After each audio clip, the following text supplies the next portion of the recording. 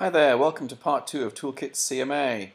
Alright, where we left off from last video is quite simply we had um, looked to make a presentation. We'd got all the way through to selecting properties and we'd selected the ones we'd actually pulled into the Toolkit CMA, um, the actual comps we'd like to use. And I'm just going to check this box right here to take them all in. And we simply mark next. Alright, I really don't dwell too much on this. Um, if you'd like to bring across certain fields so you can do some adjustments, then by all means do so. Otherwise, the default range right here, address, style, beds, bathrooms, year built, sold, and list price is uh, all I actually use. But if you'd like to make an adjustment, for an example, uh, of a fireplace, just highlight it, bring it across, and this will be included in the analysis. If you'd like to take something away, well, just highlight and, well, in this case, move it back. Pretty simple stuff. All right, clicking on next. Subject property. Okay, please uh, take a look at the information, find the information about the subject property you're going to go around and see that evening. All will become apparent just in a wee while. But quite simply, if you don't fill this information in, it's going to look uh, pretty ragged uh, whenever you come to show their property stacked up against some of the competition. Uh, very easy to do as well is actually on one of the cover sheets is simply choose a picture of the home that you're going to go around and see which would, this would mean actually you might have to go and do something uh, the equivalent of a drive-by shooting take a picture so you can upload it for your presentation. Once you're happy with uh, filling in some of these features right here then click, quickly move on to next Alright, adjustments. Very subjective topic. So, this, imagine, this is our um, uh, subject property, the home that we're looking to try and win as a listing and try and help somebody sell. Um, well, quite simply, that's, oh, this is a real good one here. All of the comps are all uh, brick, veneer, partial. Let's just imagine our house was vinyl and we'd have to make some adjustments.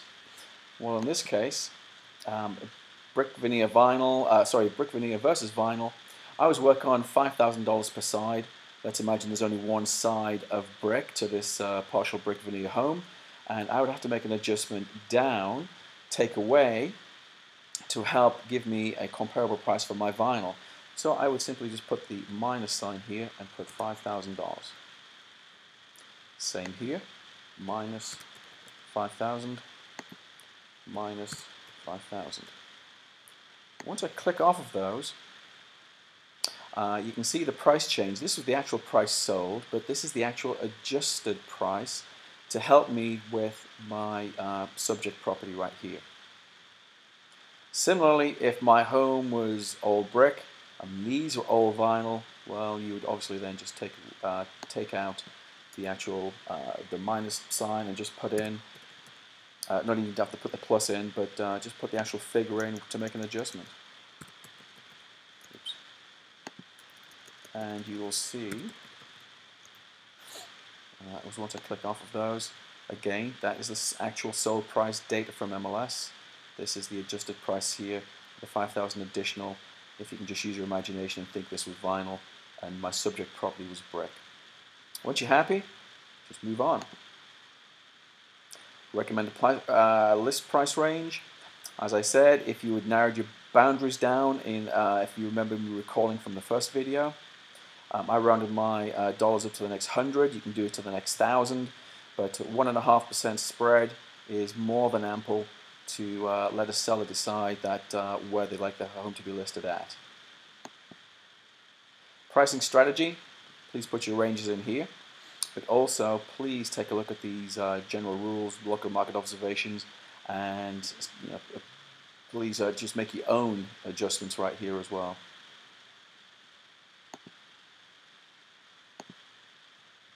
Seller net sheet. If you know enough information, completely customizable. Take some of these uh, features out, add some features in, put some amounts in, and you have a seller net sheet. Marketing plan of action, again, customizable. Um, week one here is pretty universal across the whole country. If you leave it uh, alone and just uh, present this, then you're uh, holding yourself open for open homes, uh, open houses on Sundays. So please adjust this accordingly. Create the presentation. All right, we've left an awful lot of pages in there, so this may take just a small while to create. And we'll let it do its thing. If you have any questions on this at all, please don't hesitate to either give me a call uh, or email me, text me. Be more than happy to walk you through any part of the Toolkit CMA uh, software program. Okay, now it's creating it in PDF. In actual fact, this is exactly where I would save it on my computer should I like it. If you've uh, been careful enough, it should be a one-time uh, make. If not, you can always go back to the beginning of course and um, just go through it one more time. And we're almost there. And here we go. Let me just uh, narrow this down just a little. And here's the very, very quick CMA that we put together. Uh, just the one cover letter right there, cover sheet should I say. Inside cover letter with my information, cover letter for the client, and then these are all the slides that we left in the presentation itself. I'll scroll through these because I actually want to get to the CMA portion just to show you uh, what we did when we pulled those particular comps in, which were real live working comps actually. There we go, so the start of the CMA itself, you can see it looks a little threadbare if you don't fill in the information. And if you went round to the property and took a picture, then you'll do yourself a disservice if you don't fill in some of these fields. CMA, um, at the time I pulled some of those comps in, some of them were active, but I guess some of them were already sold. So recently sold, off the market. There's a, a map right here uh, of those properties. There's another style of map, satellite view. Again, completely customizable. You choose the map you like, if any. So it will pull in comps looking like this, in this kind of format. All the way through to this level of detail right here, depending on who you're um, working with. And just scroll further through. Off the market, recently sold, recently sold.